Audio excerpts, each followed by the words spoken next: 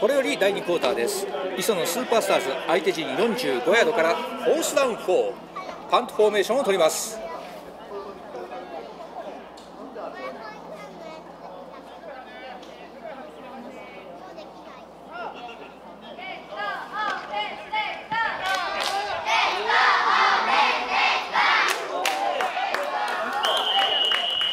このパントは飛びましてエンドゾーンを越えたことによってタッチバックとなります。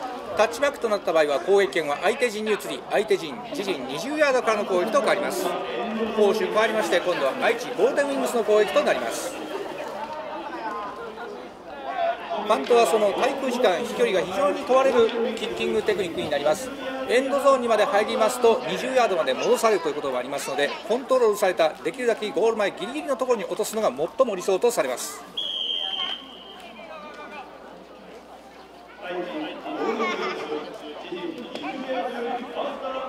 さあ攻守変わりまして IC ゴールデンウィングス自陣20ヤードからファーストダウン10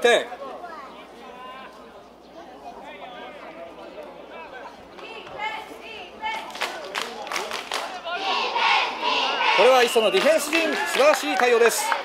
まず中央へのランプレーを展開しようとしましたがこれを磯のスーパースターズ91番72番が対応しましてこのランプレー1ヤードのロスにとどめております。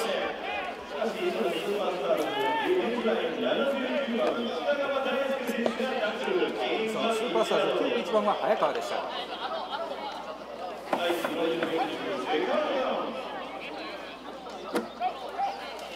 愛知ゴールデンウィングスセカンドダウン9ボールオン自陣21ヤード。さ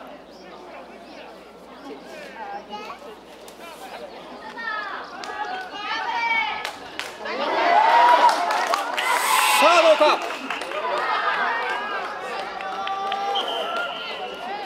スディフェンス愛知ここでクォーターバック右に流れながらパスを投じようとしましたがその振りかぶった瞬間磯のスーパースターズこのパスパスを投げる腕をはたきましてボールをファンブル。あわや攻撃権を奪えるかというチャンスでしたがこれはなんとか愛知抑えまして確保しております。しかし大きなロスとなりましてサードに変わります。愛知ゴールデンウィングスサードダウン16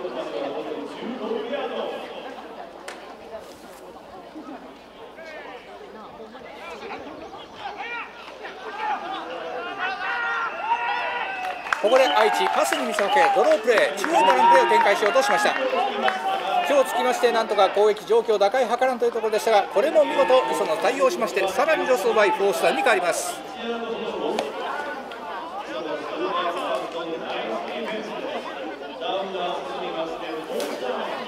愛知ゴールデンウィングスフォースダウンロング。パントフォーメーションを取ります。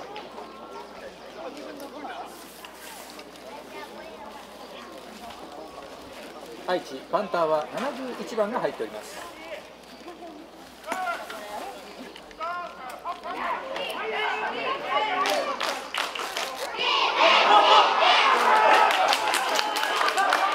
磯野スーパースタータッチアウト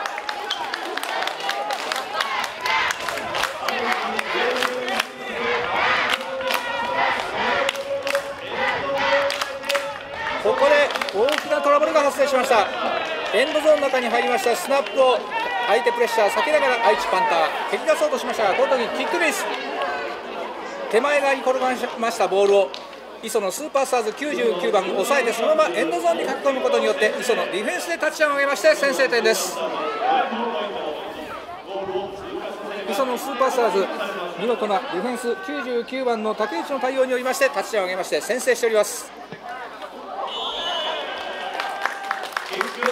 そしてこのタッチダウンの後のワンプレートライ4ポイントでキック決まりましてさらに1点追加。磯野スーパースターズ7点愛知ゴールデンウィングス0点まず磯野がディフェンスで得点を挙げまして先制点を挙げております。アメリカンフットボールは得点方法を大きく分けて2通りあります。ボールをエンドゾーンに持ち込むタッチダウン。プレースキックをゴールポストに蹴り込むフィールドゴールです。フィールドゴールですと3点。タッチダウンですと6点入ります。タッチダウンの場合はその後にもう一つのボーナスプレーがありここでキックを決めると1点。エンドゾーンに持ち込むと2点。さらに加点となります。これ以外の得点としては自分たちのエンドゾーン内で倒されるセーフティー。2点のマイナスです。この結果アメリカンフットボールの得点パターンは2点、3点、6点、7点、8点の5通りになります。この足し算によりまして引き分けが起こりにくい決着方式になっています。そして試合は先ほど得点を挙げた磯のスーパースターズのキックオフで再開します。アメリカンフットボールはラグビーと違い得点を挙げた側がキックオフし試合再開となります。従いまして失点をした側が次の攻撃を得やすい状況になります。さあそのリターンに入る愛知一気に抜けていく。ナイスリターン。ここで愛知このキックオフリターンでリターンは30番左左中央付近を独走。味方ブロックー生かしまして大きく相手陣入り込み相手陣45ヤード付近からの攻撃を得ました。見事なリターン決めたのは愛知ゴールデンウィングス30番の近藤愛知大学出身のプレイヤーです。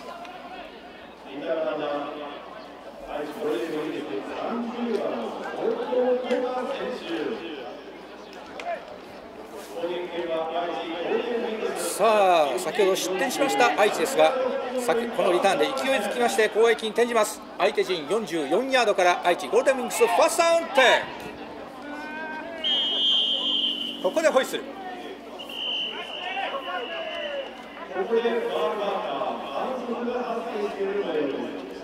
審判団からイエローフラッグが投じられています。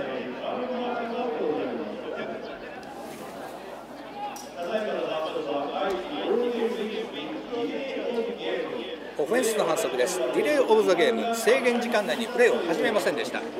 アメリカンフットボールオフェンスチームには制限時間があります。これを守らず、えー、遅延行為働きますと5ヤード抜体となります。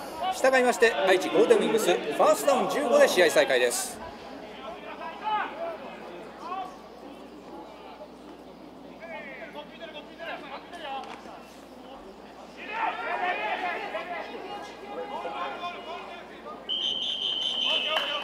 まず愛知オプションプレーから入りました。ハンドオフをフェイクし左オープンへオプションプレー。クォーターバックがキープを判断しまして約3ヤードから4ヤードのゲインとしています。まずはオプションプレー決めましたのは愛知ゴールデンウィングスクォーターバック8番の中野でした。立命館大学出身。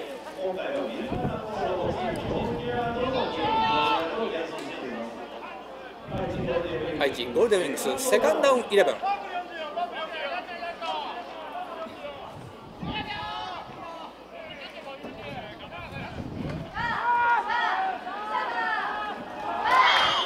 パス不成功。クォーターバック8番今度は左に展開していたワイドレシーバー18番にパスを投じましたがこれは磯の48番パスカバーしパス不成功としています。ダウン1つ変わりまして愛知サーダウンに変わります。OC 様メッセージありがとうございます。えー、あ F1 の方見に行かれる予定予定だったんですね、まあ、こちらの方ご覧いただけて幸いです。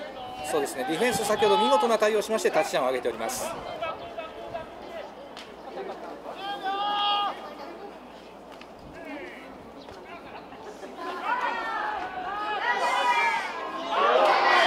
ス不成功愛知ここはパスでた状況打開図りましたがこれは磯のあわやインターセプトという見事なパスカバーでした。結果的にはパス不成功の判定となりましてフォースダウンに変わります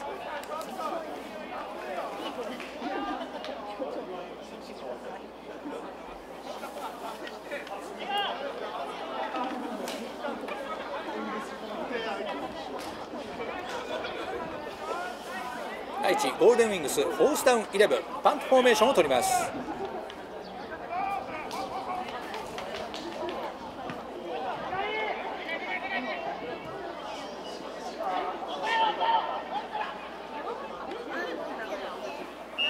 これはナイスパント愛知このパント非常にコントロールよく落とし込みまして相手がリターンできない絶妙の滞空時間を駆使しボールを磯野陣6ヤード付近にとどめこの位置で攻守交代となります。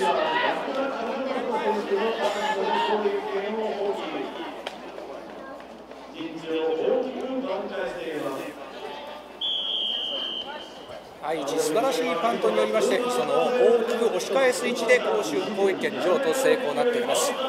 さあ今度は磯野この状況打開を図ります。磯野スーパースターズ自陣6ヤードからのファースト安定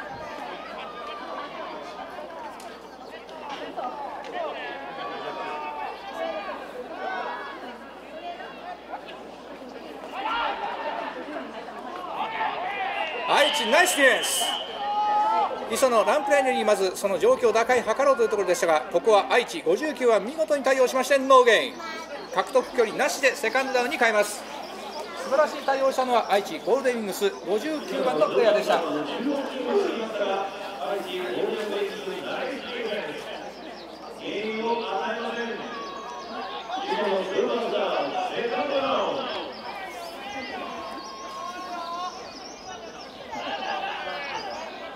マキコさんはメッセージありがとうございます。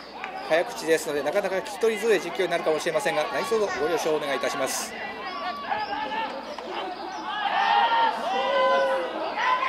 パス不成功。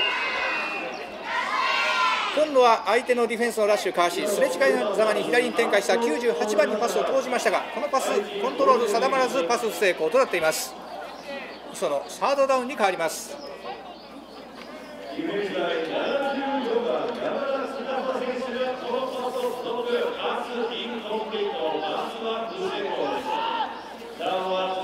さあ陣地自陣6ヤードの位置という非常に厳しい状況のスターダウン点に入ります。磯野スーパースターズ突破できるでしょうか？愛知このチャンス生かせるでしょうか？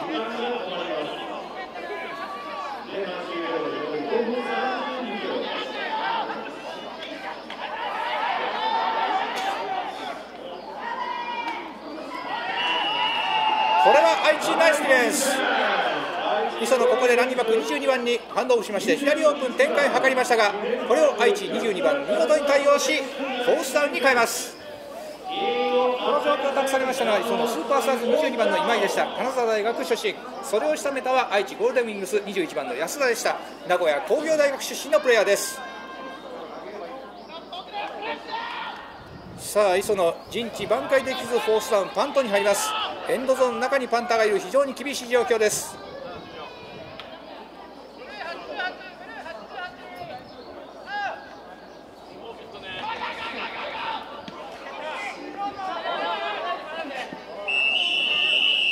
なんとか蹴り出しまして大きく返す形になりましたが自陣脱するには至っておりません。磯野陣 30, 30ヤード付近で外へ出ましてこの位置で攻守交代となります。攻撃権変わりましてテイクオーバー愛知ゴールデンウィングスに変わります。エンドゾーン内の中のため非常にプレッシャーある中蹴り出すのがようやっとという形でしたがしかし押し返しにはなっております。さあしかし愛知非常に有利な位置から攻撃入ります。愛知ゴールデンウィングス相手陣30ヤードからファーストダウン10エンドゾーンまで残り30ヤードの状況です。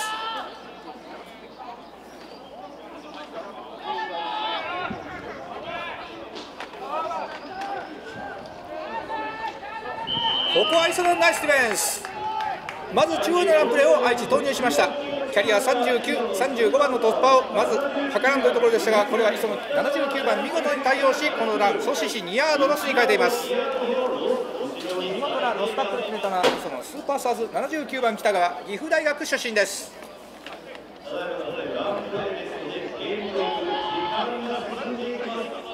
愛知ゴールデンウィングスセカンドダウン12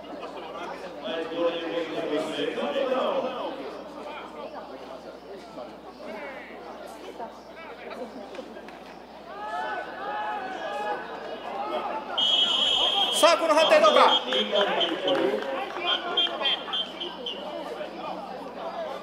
さあこの判定を待ちましょう。先ほどのプレー非常に微妙です。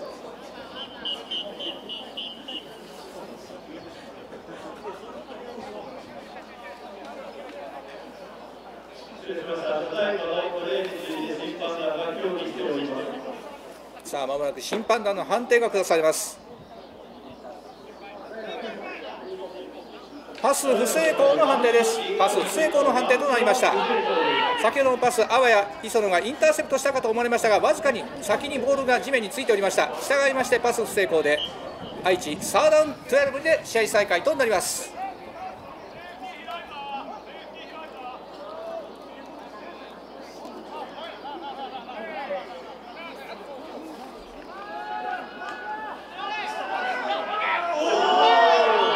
さあ判定どうかパス成功ファースターここでクォーターバックカチャン右奥走り込んだ0番にパス。0番相手ディフェンス振り切りそのままキャッチしまして大きく前進。攻撃権更新し愛知ゴールデンウィングスーパースター。見事なパスを投じましたがクォーターバック8番の中野立命館大学出身。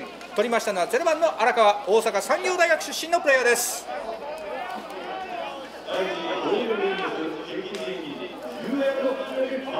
愛知ゴールデンウィングス相手陣9ヤードからファーストダウントゥゴール。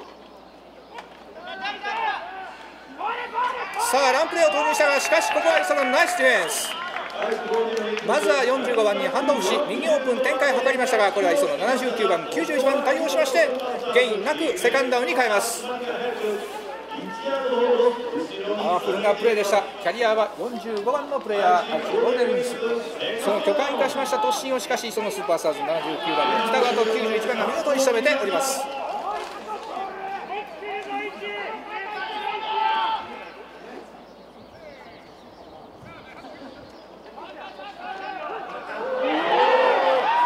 パスはこうタッチダウン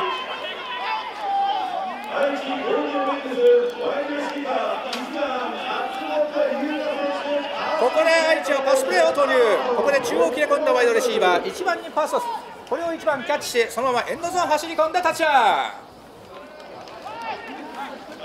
ン愛知ゴールデンウィングスワイドレシーバー1番勝本関西学院大学出身のプレイヤーのプレーによりまして6点返しております。そしてトライフォーボイ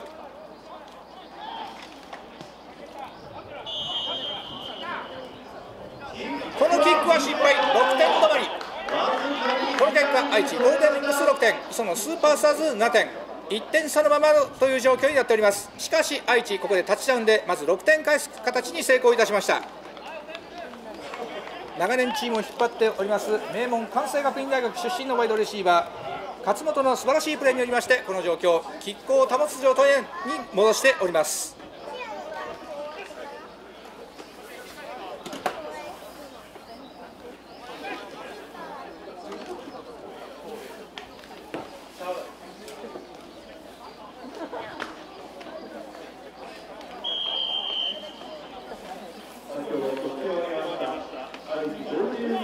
さあその得点を挙げた愛知のキックオフで試合再開となります。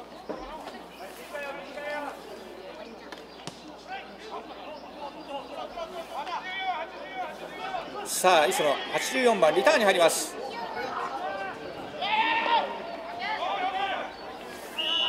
相手のラッシュ来る中スピードに乗りまして中央切れ込み。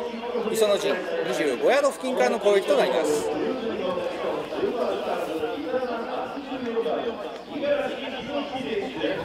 伊賀な84番は五十嵐東北大学出身です。さ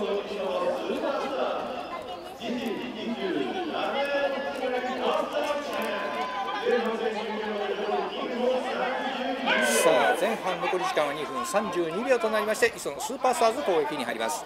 ボールオン自陣28ヤードからファーストダウン。10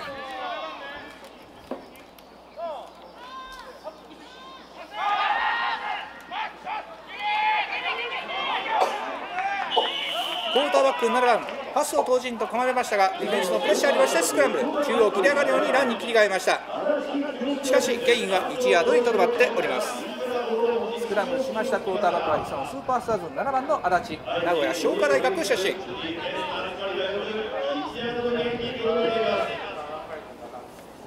磯のスーパースターズ自陣28ヤードからセカンドダウン9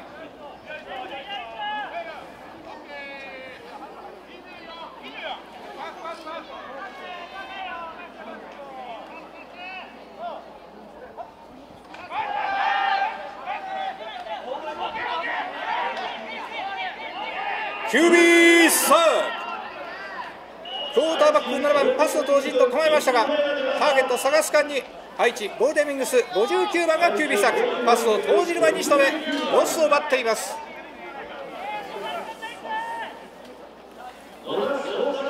見事キュービーサックしましたのは愛知ゴールデンウィングス59番の野田。名古屋大学出身のプレイヤーです。そのスーパースターズサーダンテンさあ突破なるでしょうか。前半残り時間まもなく1分を切ります。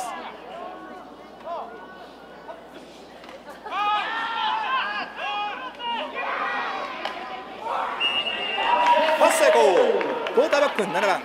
左に展開したワイドレシーバー86番にパス。86番そこから体育生かして左オープン突破を図りましたがしかし攻撃権更新には至っておりません。フォースさんに変わります。ここでホイッスル。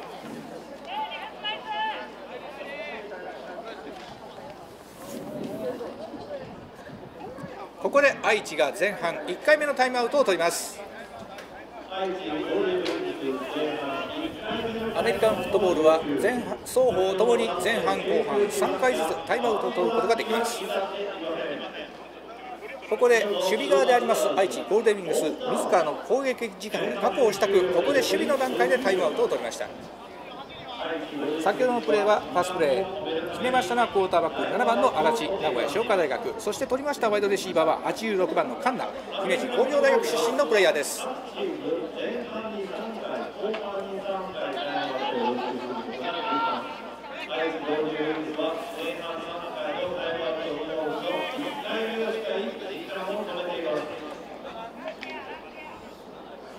さあタイムアウトを解きまして試合再開となります。愛知ゴールデンウィングスフォースダウン失礼しました。磯野スーパースターズフォースダウン2。パントフォーメーションを取ります。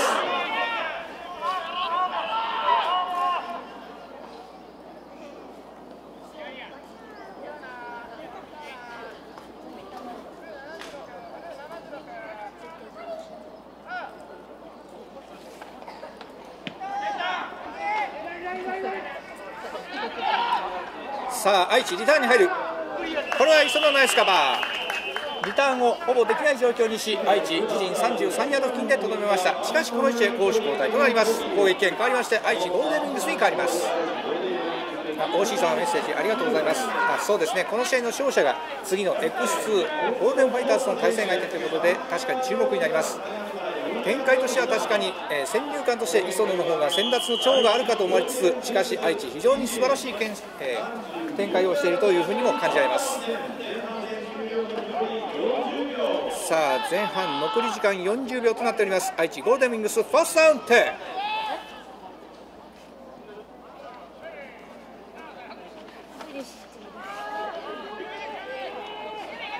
キュービーサークォーターバック8番パスを投じた構えそこからスクランブル転じようとしましたがここで磯野43番が吸収しましたキュービーサーク。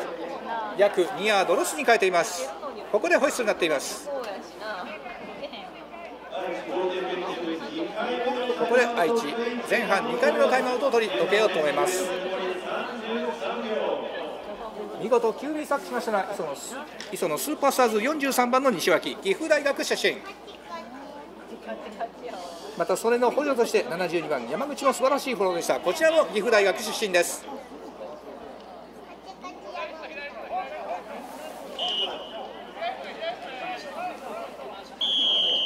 さあ試合再開です。愛知ゴールデンウィングスセカンドアントゥエル。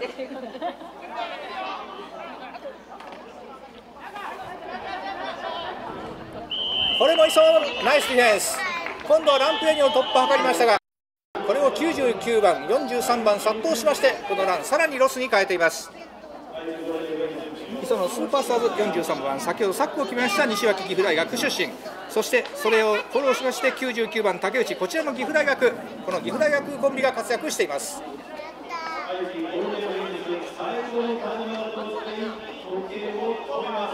さあここで愛知最後のタイムアウトを使いました。前半これで愛知のタイムアウトはなくなりました。画面をご覧いただいている方々はチーム名の下側にあります黄色いバーの残数がタイムアウトの残数としてご理解いただければ幸いです。さあ磯野スーパースター失礼しました。愛知ゴールデンウィングススターダウン14中央へのランプ。レーここでランプレーを投入しました。キャリア45番に託しましたがしかしほとんど原因なくフォースダウンに変わります。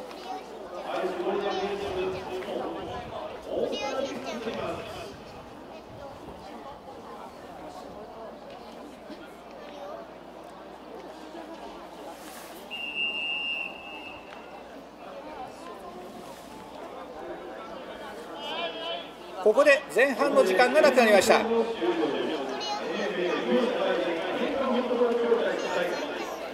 前半終了となりまして磯野スーパースターズ7点愛知ゴールデンウィングス6点。磯野が1点リードという状況で前半戦終了となっております。